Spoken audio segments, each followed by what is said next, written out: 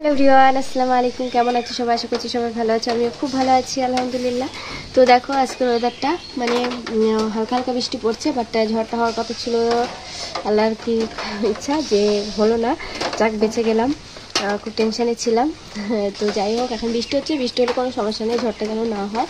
তো হয়তো অন্যদিকে হয়েছে, তাদেরও অনেক ক্ষতি হয়েছে তাদের জন্য অনেক দোয়া রইল। যেন তাড়াতাড়ি সব ঠিক হয়ে যায়। আর এই যে আমি রান্নাঘরে চলে এসেছি রান্না বসিয়েছি, জানো তো? তো এই যে, আজকে রান্না করব কি বলো তো দেখো, এদিকটা একটু অন্ধকার আছে, এটা আমি সরিয়ে দিই, তাহলে একটু আলোটা পাওয়া যাবে। এই যে জানালাটা।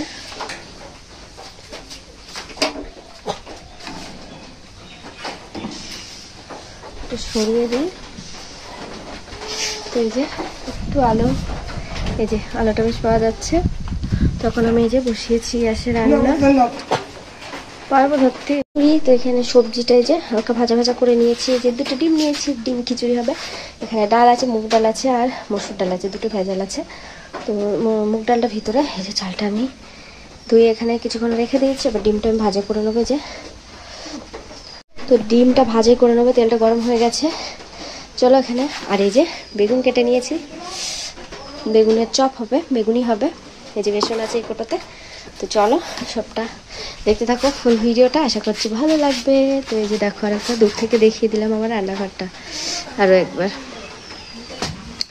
তো চলো, এই যে জানলাটা দিয়ে এখন ফোকাস আসছে।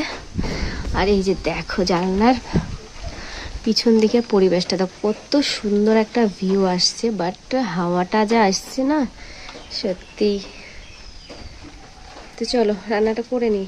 ফাইনালি দেখো বন্ধুরা আমার খিচুড়ি রান্না আর সব মানে বেগুনি ভাজা কিন্তু কমপ্লিট হয়ে গেছে কিন্তু কোনো একটা কারণে আমি পরের ভিডিওটা কন্টিনিউ করিনি তো এই অবধি ভিডিওটা ছিল। ভালো লাগলে লাইক কমেন্ট শেয়ার করে দিও। টাটা। হাফেজ।